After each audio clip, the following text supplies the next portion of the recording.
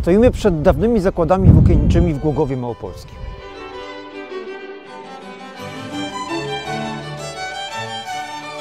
Przez lata była to tak zwana głogowska lnianka, czy później Technitex.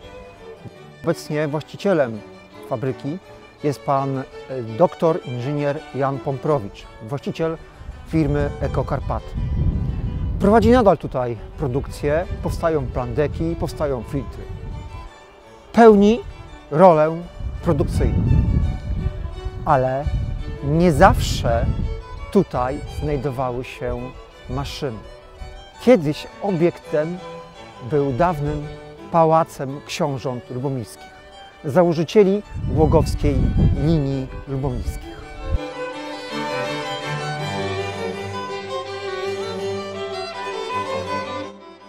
Pierwszym z lubomirskich, który rozsławił swój ród, był Sebastian, żyjący w latach 1546-1613. Wzbogacił się on dzięki dzierżawom kopalni soli w Wieliczce. W 1593 roku kupił zamek w Wiśniczu i wkrótce od cesarza Rudolfa II otrzymał tytuł hrabiego na Wiśniczu. Jego syn Stanisław Lubomirski jeszcze bardziej zwiększył znaczenie rodu. W 1647 roku cesarz Ferdynand obdarzył go tytułem księcia świętego Cesarstwa Rzymskiego. Nie mniejszą sławę zyskał Jerzy Sebastian Lubomirski, który potrafił nawet sprzeciwić się królowi, gdy ten usiłował przeprowadzić elekcję Vivente Rege. Jerzy Sebastian pozostawił dwóch synów, Stanisława Hierakliusza i Hieronima Augustyna, twórcę rzeszowskiej linii lubomirskich. Hieronim Augustyn rozbudował znaczny stary zamek Mikołaja Spytka Ligensy, przekształcając go w nowoczesną rezydencję Palazzo in Fortezza. Pozostawił po sobie trzech synów. Jednym z nich był Jan Kazimierz Lubomirski, który od 1722 roku stał się właścicielem majątku Głogowskiego. Postanowił on w Głogowie, czy Głowowie, jak ówcześnie nazywało się miasto, wybudować swoją rezydencję. Pałac niezbędny mu jako siedziba, szczególnie gdy od 11 listopada 1725 roku był już żonaty z Urszulą Branicką.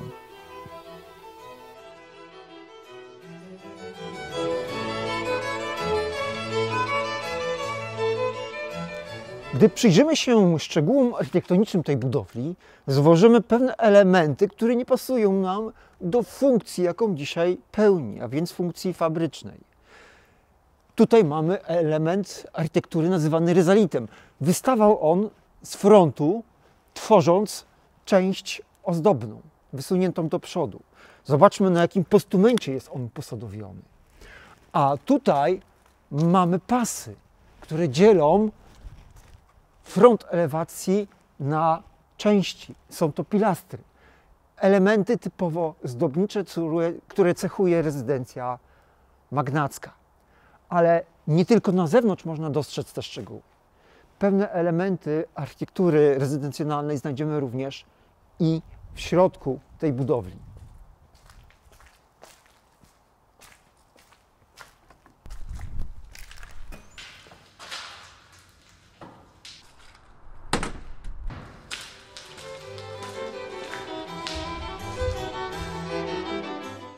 O samej budowie pałacu niewiele wiadomo. Prawdopodobnie jego architektem był Henryk Karol Wiedemann. Zachował się list Jana Kazimierza Lubunickiego z 19 marca 1727 roku do Urszuli Lubunickiej, w którym książę pisał W Opotowie kupiłem basztu na firanki, gdy mory białej nie dostanie w Warszawie, kupiłem czego inszego, a to białej gdyzelki w kostkę szerokiej, łokci 44. Jeżeli będzie trzeba więcej, to jest jeszcze łokci 50. To powracając na opatów kupię. Tylko mi oznajmij, jeżeli trzeba. A żebyś widziała, posyłam próbkę i przez pierwszą okazję do Podgórza poślę i sztukę, abyś tam miała czym zabawiać się. Nie zapominaj tam, moje serce, kazać przypilnować rzemieślnika z błoniarni i malarza w Rudnej, aby się spieszyli z robotą, także aby kto w garderobie sypiał, żeby nas nie okradziono i żeby była wszelka ostrożność z ogniem. Latem 1727 roku pałac już był zamieszkały. Składał się z głównego dwukondygnacyjnego gmachu i dwóch parterowych skrzydeł. Od północy rozciągały się w kształcie podkowy oficyny dworskie, a od południa park pałacowy. Gdy przyjrzymy się grubości ściany wnęki okiennej, zauważymy, że ma ona nienaturalną grubość jak na dzisiejsze standardy. To jest właśnie cecha budowli historycznych. Kiedyś mury musiały być solidne, musiały być potężne po to, żeby unieść sklepienie, unieść dachy, żeby się nie zawalić. To jest wyraźny ślad tego, że kiedyś przez te okno spoglądali książęta i widzieli widok w postaci parku. No dzisiaj mamy tutaj boisko Głogowi, ale park Grabina jest pozostałością dawnego parku dworskiego. W jednej z ksiąg wójtowskich Głogowa Małopolskiego znajduje się przysięga Tomasza Mendyka ze Stykowa, malarza, złożona 10 października 1727 roku. Stanowszy przed akta wójtowskie i ławnicze, głogowskie, niżej podpisany, zeznał dobrowolnie, a nie przymuszenie w takie słowa, iż ja, będąc rzemieślnikiem kunsztu malarskiego, jestem w tej parafii Głowowskiego kościoła urodzony w Stykowie, wsi należącej do tutejszej parafii i do tego się przyznawam, żem jest jaśnie oświeconemu księciu poddany jako dziedzicowi tego miasta i wsi do niego należących. I gotów jestem na to obligowany będąc w moim rzemiośle, jakie umiem, jego mościowi księciu, dobrodziejowi panu memu wszelką wygodę z postępstwa czynić, za zapłatą mnie należącą ze skarbu zamkowego i nie powinienem tej roboty odstąpić, póki może trwać przy zamku głowowskim, dotąd, póki nie zakończy się.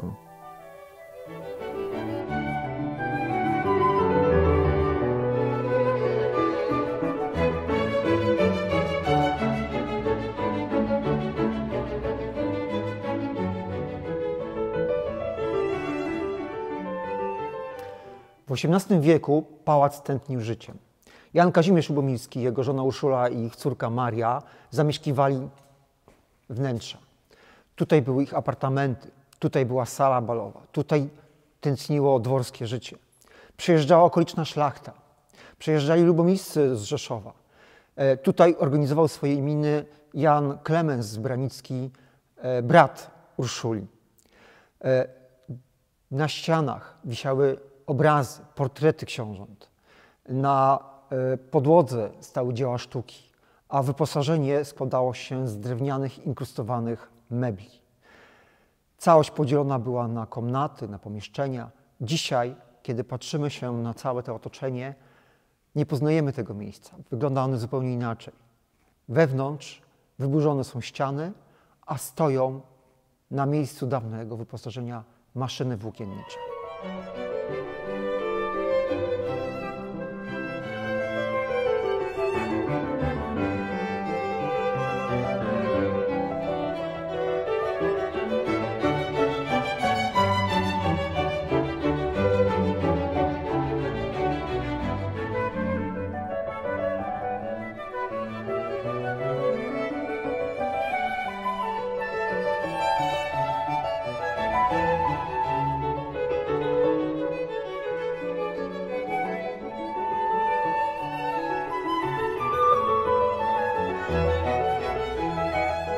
Wyposażenie Gołgowskiego pałacu częściowo zostało wniesione w posagu przez Urszulę Lubomirską.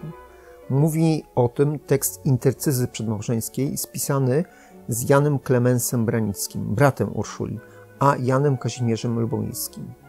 Były to meble stanowiące do tej pory wyposażenie Pałacu Branickiego w Białymstoku. Po kończeniu budowy zostały one przewiezione do pałacu w Głogowie. Dzięki temu wnętrza pałacu od razu nabrały charakteru magnackiej rezydencji. Barokowy wystrój oznaczał przepych i bogactwo. Meble sąsiadowały z dziełami sztuki. Na ścianach zawisły portrety przodków oraz dzieła znanych malarzy. Lubomirscy zadbali o to, aby w ich rezydencji panował przepych, gdyż przyjeżdżało do nich wielu gości, przed którymi chcieli chwalić się swoją magnacką fortuną. Niestety około 1800 roku pałac spłonął. Przynajmniej inwentarz z tego roku określa go mianem ruiny. Całe wyposażenie zostało doszczętnie zniszczone wraz z archiwum książąt lubomirskich. Na szczęście głogowski etnograf Franciszek Kotula znalazł w pobliskich chaszczach fragmenty kafli. Ich kształty wskazują, że musiały pochodzić z pałacu, z rezydencji książąt lubomirskich. To jest fragment narożnego kafla z pieca.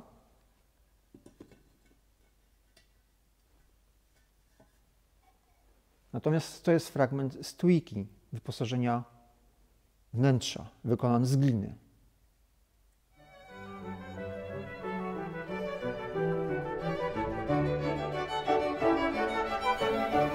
1753 roku do Głogowa przyjechał młody książę Karol Stanisław Radziwiłł. W Głogowskim pałacu miały odbyć się zaręczyny Karola, znanego później pod pseudonimem Pani Kochanku, z Marią Lubomirską, córką Jana Kazimierza i Urszuli Lubomirskich. Księżniczka Maria słynęła z dobrego wychowania. Potrafiła grać na instrumentach muzycznych, znała język francuski, niemiecki i łaciński. Mieszkający w Nieświeżu Karol Radziwiłł, chociaż magnat, w porównaniu do księżniczki, był wychowany jak przysłowiowy litewski niedźwiedź. Nieświeckie salony nie wpłynęły na ukształtowanie jego charakteru. Był gburem, który ożywiał się dopiero po kilku kielichach wina. Jadąc do Głogowa, nie był zbyt szczęśliwy, ponieważ do małżeństwa z Marią Lubomiską zmusił go ojciec, Michał Kazimierz Radziwiłł, zwany Rybeńko, hetman wielki litewski. Karol Radziwiłł nie pasował do Marii. Nie śmiał sprzeciwić się jednak woli ojca, dlatego zaręczył się z księżniczką, ale poprzedzające zaręczyny konkury były jednymi z najdziwniejszych. Gdy Maria przechadzała się po przypałacowym ogrodzie, Karol odchodził w bok, nie chcąc jej towarzyszyć. Gdy wokół niej z kolei skupiali się towarzyszący mu kawalerowie, on obrażał się na nich. W pałacu nigdy nie chciał przebywać w tej samej komnacie co Maria. Okazywał jej w ten sposób niechęć za to, że został do małżeństwa zmuszony. Po kilku latach też rozwiódł się z Marią.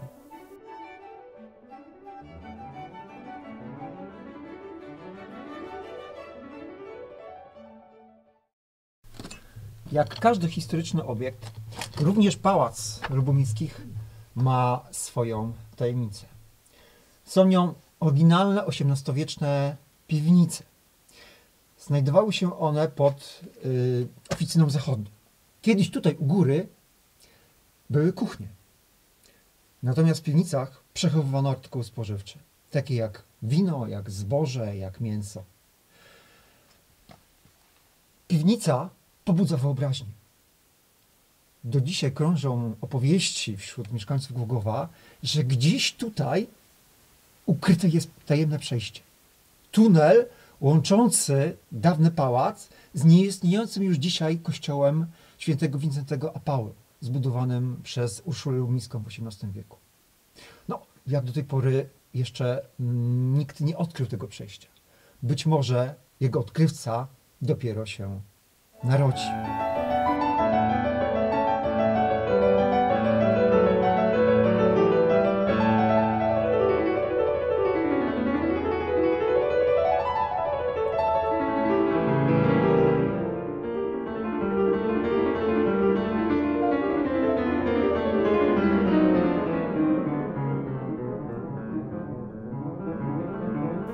Maria z Lubomirskich Radziwiłłowa zmarła w 1795 roku, nie pozostawiając potomstwa.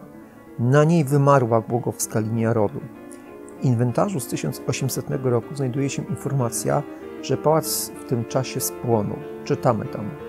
Pałac pogorzały w znacznym okręgu będący, którego pozostała rudera, w tymże pokoju w 40 znajduje się murowanych i stajnie przy tymże pałacu także piwnice murowane sklepione. Na początku XIX wieku pałac wraz z dobrami głogowskimi kupił hrabia Filip Schwerz von Spork. Odbudował go początkowo jako swoją siedzibę, lecz później umieszczono w nim koszary szwadronu jazdy austriackiej. Pałac, jako koszary, nadal był jedną z najbardziej reprezentacyjnych budowli w mieście. Skupiało się w nim życie żołnierzy, ale i głogowian, dostawców żywności, czy też tych, którzy znajdowali tutaj pracę. Zanim zaczęto budować pałac, wpierw Jan Kazimierz Lubomirski kazał założyć cegielnię. Sprowadził z Medyni strycharza, który osiadł na wygodzie. Był to protoplasta rodu Liszczów, który potrafił obrabiać glinę. Na wygodzie powstała też cegielnia, której wyrabiano cegły na budowę najpierw pałacu, a później kolejnych murowanych budynków w Głogowie. Starą, XVIII-wieczną cegłę łatwo odróżnić od współczesnej, gdyż jest od niej dużo większa. Koszary w Głogowie istniały do 1905 roku. Pięć lat później w Głogowie pojawił się Franciszek Weiss, który w dawnym pałacu założył fabrykę włókienniczą. Niestety już w 1914 roku pałac ponownie został spalony, tym razem przez kozaków, którzy dotarli tutaj po wybuchu I wojny światowej. Okoliczności tego pożaru opisał Franciszek Kotula w książce Miasteczko. Fabryka tkacka w dawnym pałacu Lubomirskich podpalona została w nocy z 21 na 22 września 1914 roku. Armia austriacka po klęsce pod Lublinem cofała się. Za nią podążała armia rosyjska. Straż przed nią stanowiły wówczas oddziały kozaków. O zajęciu przez siebie danego terenu dawały znać archaicznym sposobem pożarami. Osiągnąwszy okolice Głogowa, oddziały te podpaliły wspomnianą fabrykę. Kiedy rano 22 września kilkunastoletni chłopiec poszedł przyglądać się pożarowi, został zatrzymany przez kozaków i zapytany, kto podpalił. W naiwności ducha powiedział, że kozacy. Postawiono go przed sąd wojenny pod zarzutem podpalenia i skazano na śmierć przez rozstrzelanie. Wyrok wykonano zaraz rano 22 września. Głogów, a wraz z nim cała Galicja zostały odzyskane przez Austriaków kilka miesięcy później, w maju 1915 roku.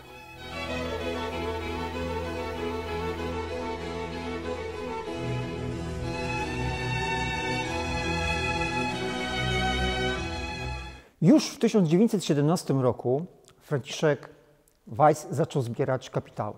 Sprzedawał udziały swojej firmy e, okolicznym ziemianom, między innymi hrabiemu e, Alfredowi Potockiemu, między innymi księdzu z Wysokiej e, Głogowskiej, e, księdzu Łańcuckiemu.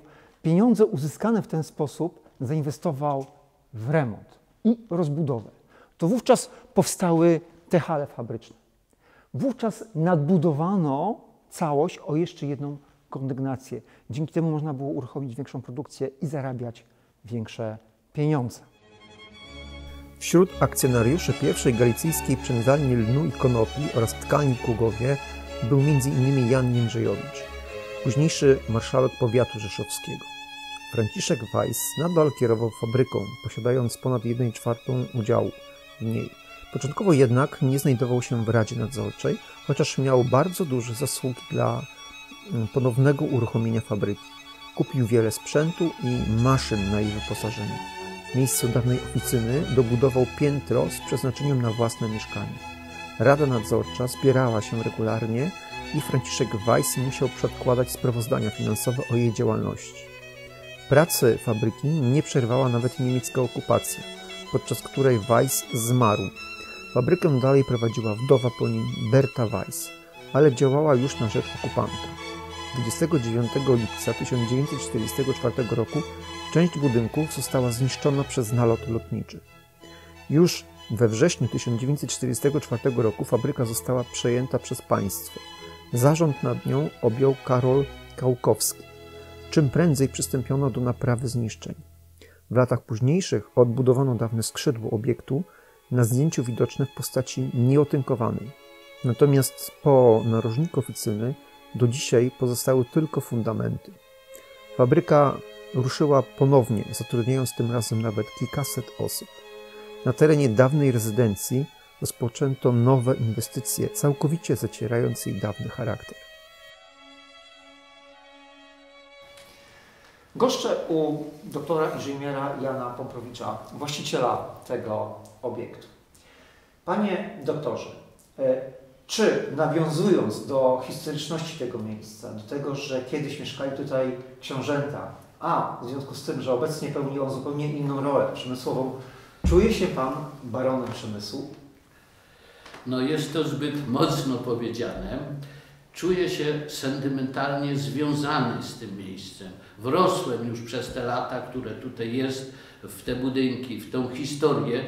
Mogę powiedzieć, że czuję się jak gdyby może baronem innowacji od pomysłu poprzez badania, wdrożenia i produkcję. Ja może krótko historii. Ten zakład kupiłem w 2000 roku, nie wiedząc o jego e, historii. Dopiero jak wszedłem, to poznałem go bliżej. Jest to zakład z tradycjami. Są tu ludzie związani od pokoleń, gdzie on praktycznie był sercem Głogowa. Wdrażamy dużo innowacyjnych pomysłów, tych, których robimy te projekty. Przykładowo tutaj, jak y, minister Kwieciński, minister inwestycji i rozwoju, odbył pierwszą swoją wizytę jako minister przybył akurat do firmy Ekokarpaty i tu mu wręczyłem nowe pomysły. Sukcesywnie odbudowujemy wszystko, staramy się zachować historię, nie zmieniając to. E, praktycznie większość obiektów już jest odbudowana. Zostają nam tą powiedzmy elewacje zewnętrzne, szczególnie tego pierwszego obiektu, ale to już zrobimy pod okiem e, konserwatora. Y, ta, na, powiedzmy w tym pięknym parku jest fontanna, która sięga czasów lubomirskich. Jeszcześmy ją nie uruchomili, ale musimy ją też odbudować. Dlatego mówię, ja czuję się jak gdybym był mieszkańcem Głogowa. Y, czuję się mocno związany z tym terenem. Bardzo często przyjeżdżam w swoim wolnym czasie. Często tu y, są różne wycieczki szkół, ja udostępniam wszystkim zainteresowanym, żeby po prostu kultywować tą historię tego obiektu.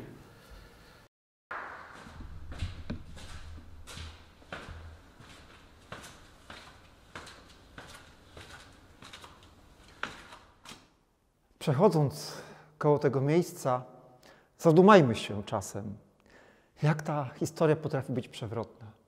Z rezydencji książęcej fabryka.